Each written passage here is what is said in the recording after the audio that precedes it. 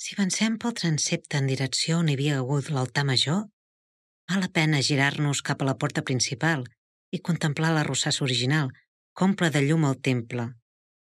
Si mirem en l'aire, situats com estem, podrem observar els capitells que coronen els pilars i les columnes de l'església.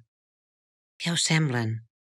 Fins a 23 en trobarem, decorats amb una riquesa iconogràfica admirable, on conviuen monstres i apòstols, mites i sants, en una polifonia que tindrà continuïtat en el claustre.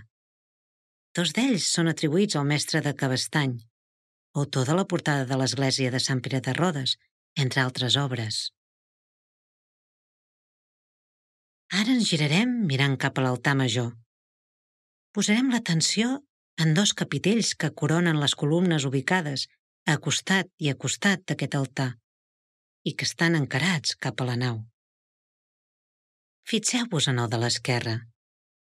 Hi podeu veure restes de pintura?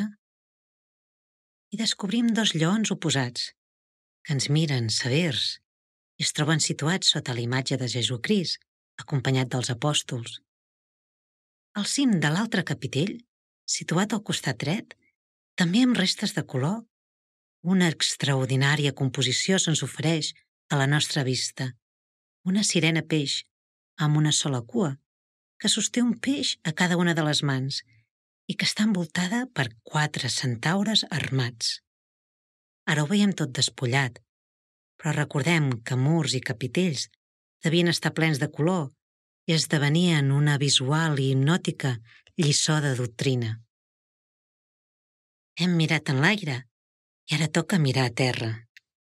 Són diverses les làpides que van marcant el nostre caminar.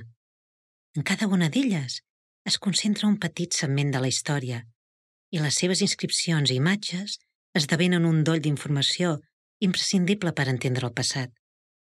Fixem-nos en una de les cinc làpides arrenglerades davant l'altar major, la segona mà dreta.